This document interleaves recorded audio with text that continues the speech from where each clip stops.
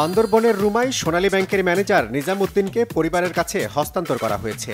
চাবি না দেয়াই তাকে অপহরণ করা হয়েছিল বলে জানিয়েছে র্যাব। থানচি বাজারে পুলিশ বিজিবির সাথে কেএনএফ সদস্যদের ব্যাপক গোলাগুলি।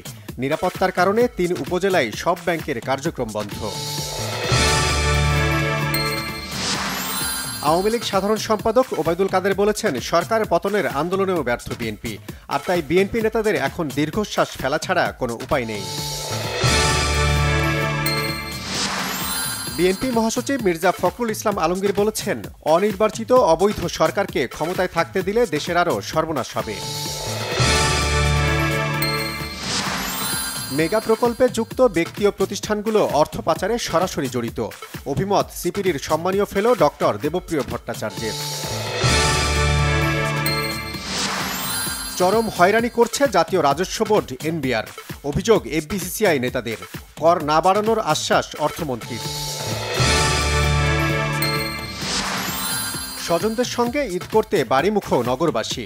কমলাপুর রেল স্টেশন থেকে দেশের বিভিন্ন গন্তব্যের উদ্দেশ্যে সময় মতোই ছাড়ছে ট্রেন।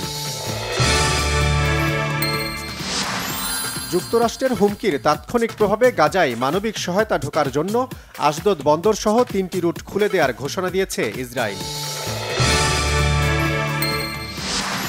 টি টোয়েন্টি বিশ্বকাপের জন্য যুক্তরাষ্ট্র যেতে টাইগারদের ভিসা প্রসেসিং কার্যক্রম শুরু। গতকাল বাড়িধারায় মার্কিন দূতাবাসে যান মাহমুদুল্লাহ মুস্তাফিজ সহ দলের বেশ কয়েকজন খেলোয়াড়। চেলসির বিপক্ষে প্রত্যাবর্তনের দুর্দান্ত গল্প লিখেও হাসতে পারেনি ম্যানচেস্টার ইউনাইটেড। বৃহস্পতিবার স্ট্যামফোর্ড ব্রিজে চেলসির কাছে হেরে গেছে চার তিন গোলে।